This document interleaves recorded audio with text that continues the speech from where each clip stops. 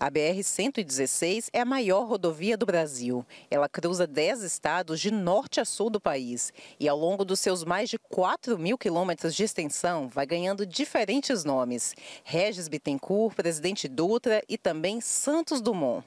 Aqui a BR-116 ganha o nome de Rio Bahia. A BR é o principal corredor para deslocamento de pessoas e de cargas entre Nordeste e Sudeste. E o trecho aqui entre as cidades de Feira de Santana e de Santa Bárbara acaba de ser duplicado, o que vai facilitar o escoamento da produção e movimentar a economia local. A obra abrange, além da duplicação de 40 quilômetros, a implantação de vias laterais e a restauração da pista existente, a construção de duas interseções, sete retornos operacionais duplos, oito passarelas de pedestres, duas pontes e 13 viadutos. Os investimentos anunciados para a infraestrutura rodoviária e ferroviária baiana são de 2 bilhões e 400 milhões de reais. O contorno leste de Feira de Santana, o chamado Rodoanel, será duplicado para tirar o tráfego de caminhões pesados do centro da cidade de Feira de Santana. A BR-101, na divisa entre Sergipe e a cidade baiana de Entre Rios, também será duplicada. A BR-030 será pavimentada no trecho que dá acesso à região litorânea de Maraú e no trecho que vai de Cocos a Mambaí, em Goiás. A rodovia é importante para o escoamento de grãos. Também foi autorizado o início dos serviços do lote 5 de duplicação e adequação da capacidade da BR-116 na Bahia, no trecho entre os municípios de Teofilândia e Santa Bárbara.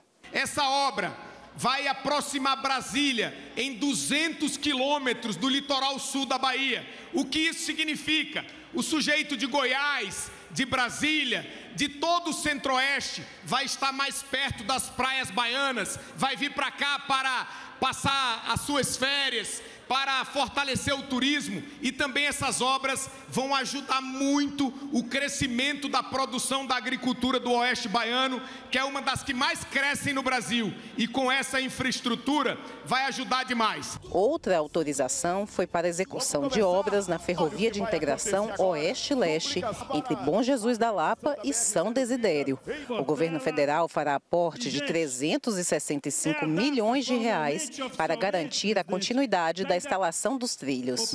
Para integrar o oeste com o leste, para realizar um sonho do professor da UFBA Vasco Neto, de ligar o Oceano Atlântico ao Oceano Pacífico, que é a ferrovia leste-oeste.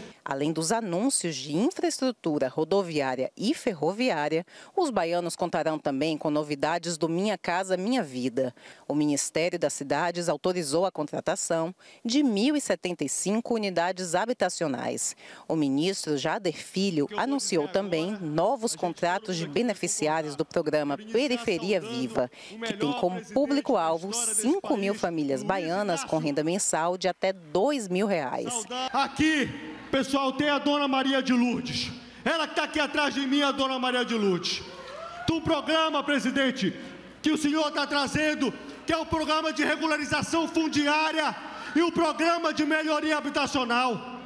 São cerca de 5 mil famílias só na Bahia que vão poder receber o título das suas propriedades e mais cerca de 1.500 famílias que vão poder fazer melhorias habitacionais. Em Feira de Santana, segunda maior cidade da Bahia, o presidente Lula também visitou a nova sede do Colégio Estadual de Tempo Integral, professora Ana Angélica de Moraes. Vocês não têm que se acomodar nós fomos eleitos para cuidar de mulheres, de homens, de crianças, de adolescentes, cuidar do povo brasileiro, que é o que precisa acontecer nesse país. Nós começamos a fazer a primeira colheita agora.